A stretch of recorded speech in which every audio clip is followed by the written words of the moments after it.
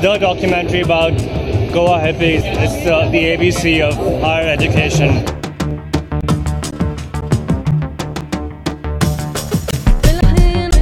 Here we are looking at Goa, which has evolved as a tourist situation only because of the hippie culture.